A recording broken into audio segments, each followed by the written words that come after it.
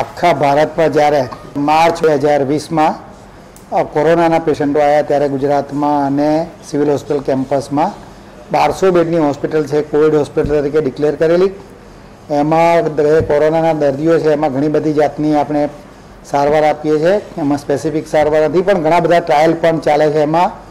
જે પેશન્ટને કોરોના થયો હોય, એને ચૌદથી વધારે દિવસ થાય અને એમાં એન્ટીબોડી ડેવલપ થાય. તો એનું જે પ્લાઝમા એટલે બ્લડનું એક કમ્પોનન્ટ કહેવાય, એ પ્લાઝમા જો પેશન્ટને આપવામાં આવે ગંભીર પ્રકારના, તો એને રિકવરી રેટ સારો છે.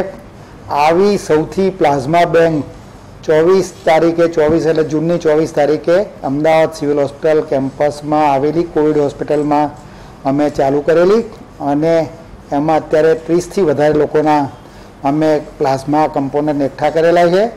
અને યુરોપમાં સૌથી જે માર્ચમાં પહેલું એક પેશન્ટ આવેલું કોરોનાનું, સ્મૃતિ ઠક્કર, એનું પણ એ આ જ બેંકમાં અમે એનું પ્લાઝમા લીધેલું અને એ પ્લાઝમા વીએસના એક પેશન્ટમાં ઉપયોગ કરવામાં આવેલું. એટલે આખા ભારતમાં સૌથી પહેલાં પ્લાઝમા બેંક ચાલુ કરવામાં સિવિલ હોસ્પિટલ અગ્રેસર છે.